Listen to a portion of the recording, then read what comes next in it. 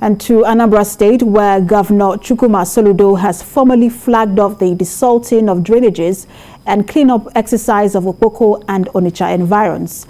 This is to fulfill his earlier promise to declare emergency on heaps of refuse on in Okpoko and other parts of Onitsha. Bamidele Ajayi reports.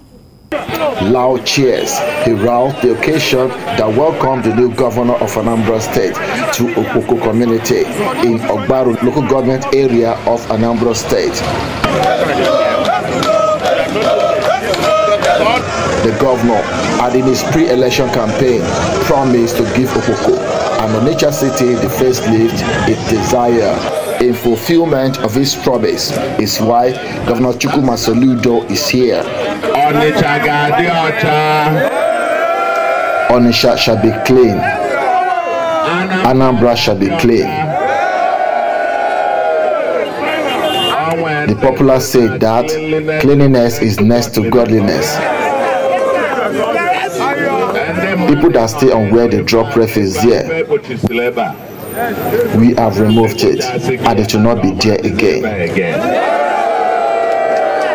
Okpoko is a slum-like settlement with over 1 million inhabitants. The governor makes it a task to ensure the densely populated city is kept clean to improve health and hygiene of the residents.